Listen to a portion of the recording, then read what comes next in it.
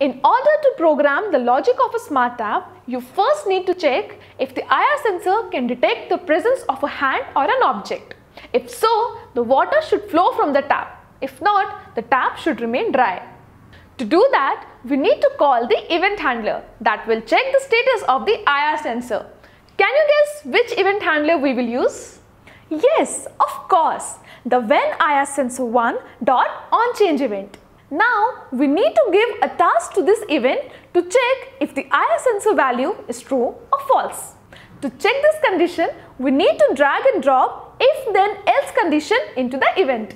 To the if statement, we first compare the IR sensor value is equal to true by calling the procedure call IR sensor 1 dot get IR value and compare it to the logic true if they are equal.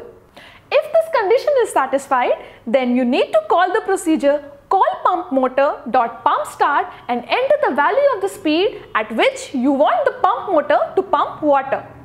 The maximum speed that can be given is 255 and the direction can be either true or false because the motor can pump the water only in the forward direction. If the condition is not satisfied, then the pump motor should be turned off.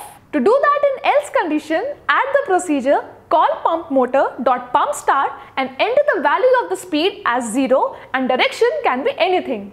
Now your application is ready to work. But wait, how would you get to know if the IR sensor is detecting the presence of a hand or not? It wouldn't be displayed on the screen. Well, to solve this problem, we'll use a label which will display the value of the IR sensor. So before you check the status of the IR sensor, you drag and drop set IR status.text to call IR sensor 1 dot get IR value. This will get the value of the IR sensor and will display it on the label.